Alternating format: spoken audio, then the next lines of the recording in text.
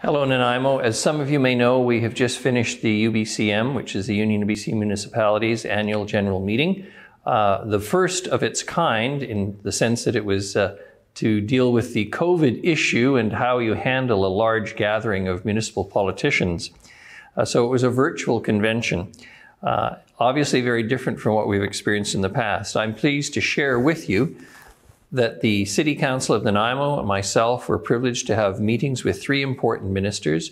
Minister Selina Robinson, the Minister of Municipal Affairs and Housing, uh, Minister Mike Farnworth, the Solicitor General, in other words, the top province's top cop, uh, and Judy Darcy, the Minister of Mental Health and Addictions, to talk about the obvious issue that confronts Nanaimo that so many of you write to me about, that concerns so many of you, and that is the mental health and addictions crisis that confronts us every day in our streets along with the significant homelessness issue uh, that is evident everywhere in our community.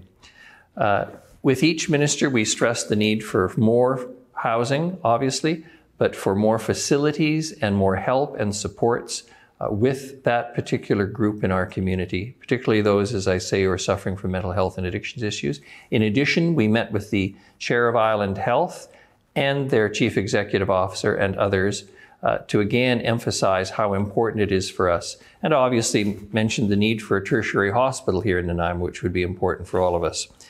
I'm pleased to advise that two resolutions put forward from the city uh, were referred to the UBCM executive. One was the local government price index, which was referred, as I say, and basically that's calling on uh, UBCM to get the government to uh, have a price index, not the CPI that governs what most of us think of as our expenses, but those things that municipal governments buy. We don't buy a lot of groceries here at the City of Nanaimo, but we buy a lot of pipe. Uh, the second was around whistleblower legislation, again referred to the UBCM executive. And as you know, many provinces have whistleblower legislation that protects public servants who raise concerns about actions being taken by city staff or other members or politicians. And we're asking that an independent third party uh, be created to handle those kinds of complaints. The next step for all of us, of course, as City Council would be to carry on addressing all the issues that confront us, but also to potentially work with uh, whatever provincial government uh, is elected uh, on October 24th. And in that regard, I ask all of you to vote, to pay attention to the issues, and tell the politicians during the campaign what are the issues that concern you. Thank you very much.